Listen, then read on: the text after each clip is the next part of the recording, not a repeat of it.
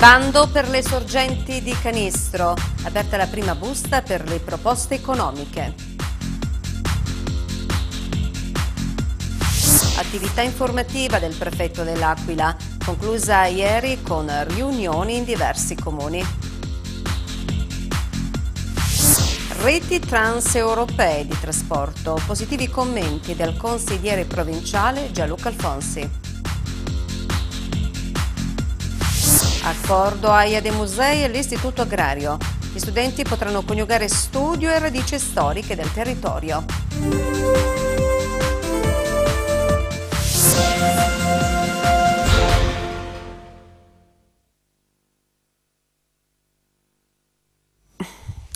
Cordiale saluto dagli studi di Antenna 2. Dunque, seppur eh, lentamente, anzi molto lentamente, prosegue l'iter amministrativo per l'assegnazione della concessione delle sorgenti Sant'Antonio Sponga di Canistro. Infatti, come abbiamo riferito anche nei giorni scorsi, ieri sono state aperte le buste B con le proposte economiche delle due società interessate, la Santa Croce e la San Benedetto. Eh, passaggio decisivo dell'iter che si trascina ormai dal mese di febbraio del 2019, quando fu indetto il bando. La commissione presieduta da eh, Franco Gerardini, dirigente regionale del Servizio Gestione Rifiuti della Regione Abruzzo ha semplicemente verificato la completezza documentale. Nelle prossime settimane invece dovrà esaminare le due proposte dei concorrenti e designare il commissario provvisorio che finalmente tornerà ad imbottigliare la preziosa acqua che da ben quattro anni finisce nel fiume Liri, dando, si spera, anche risposte ai tanti lavoratori in attesa di ritrovare il loro lavoro perso. In gara come detto la Santa Croce dall'imprenditore molisano Camillo Colella, ex concessionaria della Sorgente, che poi è stata revocata nel 2015 con conseguente licenziamento dei 75 dipendenti. E la San Benedetto che imbottiglia anche dalle sorgenti di Popoli, che nella seduta dell'11 novembre si era vista sospendere l'ammissione alla gara in quanto i legali della Santa Croce invece subito ammessa avevano lamentato la mancanza dei terreni su cui realizzare eventualmente il nuovo stabilimento. La San Benedetto è stata poi messa nella successiva seduta del 16 dicembre a seguito della presentazione di integrazioni e requisiti formali. Così stando le cose, se la concessione verrà assegnata alla Santa Croce, la stessa potrà utilizzare gli impianti fermi di proprietà della stessa società che fa capo all'imprenditore Colella. In caso diverso, la San Benedetto dovrà realizzare un nuovo stabilimento. Tullio Pascucci, video operatore RAI di 69 anni, originario di Tagliacozzo ma residente a Roma, è morto sulle piste da sci nella Valle d'Aosta Orientale a causa di un malore. L'uomo è stato soccorso prima degli amici che erano con lui, poi del personale sanitario che lo ha trasportato nel vicino ospedale, ma i medici non sono riusciti a salvarlo. Il sindaco di Tagliacozzo, Vincenzo Giovaniorio, l'ha voluto ricordare come un caro concittadino che grazie alla sua dedizione e alla sua professionalità per la eh, documentaristica ci lascia documenti e video importanti come quello del 250 della Madonna dell'Oriente e come il reportage su Don Gaetano Tantalo. Funerali si terranno eh, domani alle ore 10 nella parrocchia di San Frumenzio a Prati Fiscali di Roma. Subito dopo la salma verrà tumulata nel cimitero di Tagliacozzo. Con la riunione tenutasi questa mattina, la consigliere del comune di Bugnara, la presenza del sindaco di Bugnara e quelli dei comuni di Castaldieri, Castelvecchio Subequo, Cocullo, Gadiano Aterno e Goriano Sicoli, il prefetto dell'Aquila Cinzia Torraco ha concluso la sua programmata attività informativa e di ascolto presso tutti i comuni del cratere della provincia. In precedenza, la scorsa settimana, il prefetto aveva incontrato prima Poggio Picenze, i sindaci dello stesso comune e di quelli di Capestrano, Caporciano, Navelli, Ofena, Poggio Picenze, San Pio delle Camere e successivamente a Rocca di Mezzo, quelli della stessa cittadina e di Ocre, Rocca di Cambio, Vindoli, Collarmele. In questi sette incontri, nei quali il prefetto Torraco ha avuto modo di conoscere i sindaci dei 41 comuni della provincia aquilana ricadenti nella gestione dell'ufficio speciale per la ricostruzione, riservandosi a breve la visita nel comune dell'Aquila e nelle sue frazioni. Sono state rappresentate dai primi cittadini tutte le problematiche inerenti, le specifiche peculiarità con cui ogni singola amministrazione deve confrontarsi e quelle in generale attinenti alle difficoltà comuni derivanti dalla ricostruzione post-sisma e dall'isolamento delle aree interne. Il prefetto ha assicurato la sua totale disponibilità all'istituzione di tavoli tecnici di lavoro e confronto sulle tematiche riguardanti più enti e soggetti istituzionali coinvolti, assicurando altresì l'impegno personale su quelle che attengono all'immediata possibilità di intervento eh, della Prefettura dell'Aquila e fornendo nel contempo supporto ed aiuto nel superamento dei problemi e delle difficoltà riscontrate. Tutti gli incontri si sono svolti in un clima di grande cordialità e sintonia comune tra i sindaci ed il prefetto Torraco, a cui gli stessi amministratori hanno espresso soddisfazione ed apprezzamento per queste importanti prime prese di contatto e per l'attenzione ricevuta. Oggi nel corso del processo eh, seguito dall'inchiesta DODES su presunte irregolarità negli appalti per la ricostruzione post-sisma, in particolare i suoi puntellamenti per la messa in sicurezza degli edifici e dei palazzi subito dopo il sisma dell'Aquila del 6 aprile 2009, Agostina Marco, nel grande accusatore su eh, cui si reggeva l'accusa, si è avvalso della facoltà di non rispondere.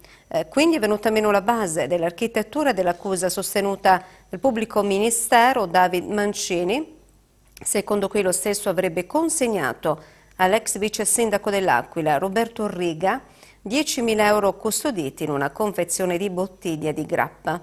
Cade così il teorema accusatorio in un processo su presunte mazzette per centinaia di milioni di appalti affidati direttamente tra il 2009 e il 2012 vista l'urgenza per la messa in sicurezza delle strutture pericolanti. Tutto ciò in un processo iniziato nel 2014, nel quale le accuse per gli imputati sono prescritte. Tra queste ci sono gli ex assessori comunali Pierluigi Tancredi e Vladimiro Plagidi, l'imprenditore Pasqualino Macera, l'ex cerimoniera del comune Daniela Sibilla. Nel corso eh, dell'udienza di oggi ehm, si è registrata un'altra importante novità, L'ex vice sindaco di L'Aquila Roberto Riga, per bocca del suo legale, ha rinunciato alla prescrizione e continuerà ad essere processato. Le accuse mosse dal principale test dell'accusa non sono state confermate davanti al Tribunale di L'Aquila. Agostino Marcom si è avvalso della facoltà di non deporre. 3 marzo la sentenza definitiva. Il consigliere provinciale di Fratelli d'Italia, Gianluca Alfonsi, commenta eh, la mozione approvata all'unanimità dal Consiglio provinciale dell'Aquila nei giorni scorsi concernente la revisione delle reti transeuropee di trasporto, le cosiddette TNT.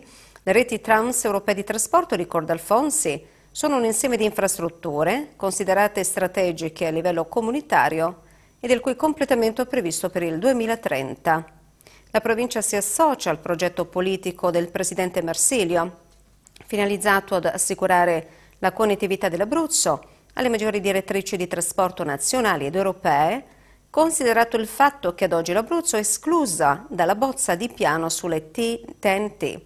La rivisitazione del progetto europeo sulle reti di trasporto, commenta ancora Alfonsi, è un'opportunità che non può essere persa dall'Abruzzo e segnatamente dalle aree interne perché la dotazione di una rete logistica moderna e funzionale è essenziale per attrarre investimenti ed offrire una concreta prospettiva a territori eh, in ritardo di sviluppo. Una priorità per questo governo regionale e provinciale, sottolinea sempre Alfonsi, che vuole per l'Abruzzo l'attivazione di due nuovi corridoi europei, quello Adriatico, Ancona Pescara Brindisi e quello Tirrenico Civitavecchia Avezzano Pescara. Ed è evidente la valenza del progetto della eh, Regione Abruzzo, chiosa Ancora Alfonsi che vede il, convi il convinto sostegno di tutta l'amministrazione provinciale.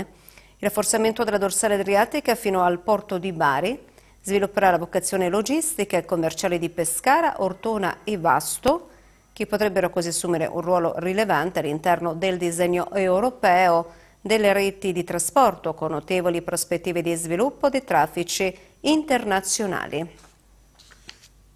Nella giornata di giovedì 13 febbraio si terrà una nuova seduta eh, della Commissione Vigilanza con inizio dalle ore 10. E I punti all'ordine del giorno, come specificato dal Presidente Pietro Smargiassi, saranno tre. Due di questi riguarderanno nello specifico l'ASL Avezzano Solmona L'Aquila. Verrà analizzato il tema della gara d'appalto per l'affidamento di servizi di portierato e complementari presso l'ASL con il consigliere regionale Antonietta Laporta e eh, a relazionare sul punto e le audizioni del direttore generale dell'ASL Roberto Testa, del responsabile RUP Michele D'Amico e dell'amministratore Eagle Service Fabrizio Frattini. Si tratterà quindi delle procedure di gara per l'affidamento delle manutenzioni nella ASL con il consigliere Americo Di Benedetto che svolgerà un ruolo di relatore. Verrà nuovamente poi ascoltato il direttore generale Roberto Testa. In più ci saranno le audizioni dell'assessore alla sanità Nicoletta Verè, del responsabile Dipartimento Tecnico ASL Fabrizio Andreassi, del responsabile dell'Ufficio Operativo Complessa Lavori Pubblici e Investimenti dell'ASL Massimo Di Pietro e dei rappresentanti delle sigle sindacali siglato un accordo tra il polo museale dell'AIA dei musei e l'Istituto Agrario Arrigo Serpieri di Avezzano. Grazie a questa intesa gli studenti dello storico istituto potranno coniugare lo studio delle più moderne tecniche nel settore agroalimentare con l'approfondimento delle radici storiche del proprio territorio. In tal senso la dirigente scolastica Cristina Di Sabatino afferma l'importanza dello studio della storica eh, locale come elemento di senso su cui poggiare le scelte future. Una solida cultura di base essenziale, aggiunge la preside, per la formazione completa degli studenti, che oggi più che mai hanno bisogno di riappropriarsi della conoscenza storica della cultura territoriale di appartenenza. Aprire gli spazi museali alla collaborazione con la scuola rientra tra le finalità del nostro museo, afferma Flavia De Sanctis, direttrice del Polo Museale. Ricorda che la struttura ospita il lapidario, le parole della pietra, e il Museo sul prosciugamento del lago Fucino, il filo dell'acqua. Nell'apidarium sono esposti antiche epigrafi che raccontano il passato della Marsica attraverso storie di vita privata, religiosa e politica, mentre il Museo del prosciugamento del Fucino si avvale di un allestimento moderno e multimediale per illustrare la grande opera idraulica che ha portato alla scomparsa del terzo lago d'Italia per dimensioni, modificando indelebilmente il destino di generazioni di uomini. Una delle prime azioni previste dall'accordo consentirà agli studenti del Serpieri di fruire del museo dei laboratori con il supporto di guide esperte. Tali visite si collocano all'interno di una specifica progettazione didattica messa in atto dai docenti dell'istituto. Nel proseguo l'accordo prevede altre forme di scambio, tra le quali si cita, per l'alto valore culturale, la progettazione delle aree verdi del polo museale mediante recupero delle specie storicamente presenti nell'area fucense a cura degli studenti del tecnico agrario. Giovedì 13 febbraio, a partire dalle ore 17, le attività informatiche dell'ASL Avezzano Solmona L'Aquila subiranno lo stop di circa un'ora per effettuare eh, lo spostamento dei database dell'attuale infrastruttura a un'altra che offre garanzie di affidabilità e continuità molto superiori. L'orario delle ore 17 è stato scelto per fare in modo che il fermo possa avere le minori ripercussioni possibili sull'attività degli sportelli pubblici. L'ASL avverte la popolazione che nell'arco orario indicato potrebbero quindi verificarsi dei disagi. Il commissario straordinario del Comune di Avezzano Mauro Passerotti informa ehm, i cittadini interessati che è stato pubblicato l'avviso relativo ai progetti di vita indipendente. Possono presentare istanza le persone disabili di età superiore ai 18 anni, residenti nel territorio comunale aventi un valore ISEE sociosanitario non superiore a 20.000 euro, nonché ai legali rappresentanti dei predetti soggetti nel caso di disabili psicorelazionali. Il modello di domanda redatto dalla Regione Abruzzo può essere presentato entro il 21 febbraio prossimo nelle seguenti modalità. raccomandata presso il Comune di Avezzano in Piazza della Repubblica. Consegna a mano l'ufficio protocollo del Comune di Avezzano dal lunedì al venerdì dalle ore 8.30 alle ore 13 e nei pomeriggi di martedì e giovedì dalle ore 15.15 alle ore 17 o attraverso posta elettronica certificata all'indirizzo comune.avezzano.aq-postecert.it. Il modello di domanda è disponibile sul sito del Comune di Avezzano, sezione trasparenza, bandi di concorso avvisi. Ulteriori informazioni e chiarimenti saranno poi forniti dalla dipendente del Comune di Avezzano, settore servizi sociali, sportello handicap in via Vezia, la signora Maria Teresa Maceroni, alle seguenti email sportellohandicap chiocciolacomune.avezzano.aq.it. Don Luigi Maria Piccocco, giovedì eh, 13 febbraio alle ore 16.30 sarà al Castello Orsini di Avezzano per dialogare con giovani insegnanti ed educatori. Qualcuno a cui guardare per una spiritualità della testimonianza è questo eh, il titolo dell'incontro di aggiornamento e formazione organizzato dall'Ufficio Scuola Diocesano, guidato dal diacono Antonio Masci, in collaborazione con la FISM provinciale, la Federazione Italiana Scuole Materne e promosso dalla Pastorale Giovanile Diocesana. Don Luigi Maria Epicocco, filosofo, teologo, scrittore, professore alla Pontificia Università Lateranense e all'Istituto Superiore eh, di L'Aquila, di cui è anche preside. Il sacerdote aquilano, ma di origini pugliesi, inoltre titolare di una pagina social a lui dedicata, che conta più di 52.000 followers e che raccoglie i suoi commenti quotidiani al Vangelo, diffusi su tutti i maggiori media cattolici ed è spesso ospite di trasmissioni televisive in qualità di esperto di temi cristiani. Il suo ministero nei suoi libri, Don Luigi Maria Picoco, si occupa di formazione e spiritualità cristiana e rappresenta una delle voci più giovani e autorevoli nell'attuale panorama cattolico nazionale ed internazionale. Già autore di numerosi e fortunati testi, il suo ultimo libro, Qualcuno a cui guardare per una spiritualità della testimonianza, è stato pubblicato lo scorso anno per l'edizione Città Nuova. Si tratta del volume donato dal Papa lo scorso 21 dicembre ai vescovi cardinali della Curia Romana ricevuti in udienza per gli auguri natalizi. Ed è proprio a partire dai capitoli che compongono il suo libro e riflettono intorno ad alcuni temi chiave che eh, lo sostanziano che Don Epicoco detterà la sua relazione sul tema della testimonianza, declinato nei vari ambiti della vita del credente e alla luce delle relazioni significative che in essa si intrecciano fino ad aggiungere ad una ricostruzione del profilo umano e spirituale del testimone cristiano. È frutto di un percorso partecipato che ha eh, coinvolto tutti gli associati, è nato sotto il segno della partecipazione il programma delle attività dell'anno 2020 del Centro Socioculturale Per Sempre Giovani, Ancia Scaudi Paterno di Avezzano. Il programma ha alla sua base il benessere sociale, collettivo sia degli associati che dei propri familiari e amici. Nelle intenzioni del Presidente Annunziata Laurenzi, e dell'intero direttivo, le attività previste dovrebbero coinvolgere tutta la comunità e gli enti pubblici e privati. Documento che indica le azioni da attuare nel corso dell'anno 2020 nell'ambito delle aree di intervento sociale, dai bambini agli anziani, dai disabili alle situazioni di povertà, è stato infatti messo a punto attraverso un percorso di confronto partecipato che in poco più di un mese si è sviluppato in incontri tecnici e tavoli tematici. Ma vediamo quali sono i principali punti eh, di sviluppo della programmazione di quest'anno. Nel mese di febbraio gli appuntamenti sono i seguenti. Il 20 cena di carnevale, 27 avvio progetto teatro, compagnia La Bottega dell'Arte, il 28 informazioni domestiche con Comitato Feste Paterno.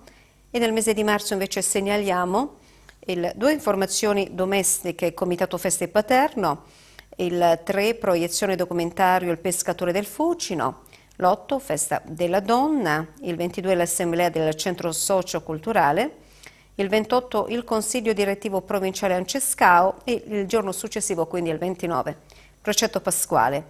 L'1, 2, 3 maggio, gita invece al lago di Garda, Verona, Padova, i, luog i luoghi dell'amore e il 14 maggio eh, gita a Pompei, le nuove scoperte archeologiche, il 24 maggio concorso torte salate e dal 28 giugno all'11 luglio vacanze mare terme, salute e benessere. Il 4 ottobre festa dei nonni con nonna insegnami a cucinare, nonni e nipoti tradizioni. Le altre attività sono in fase di progettazione.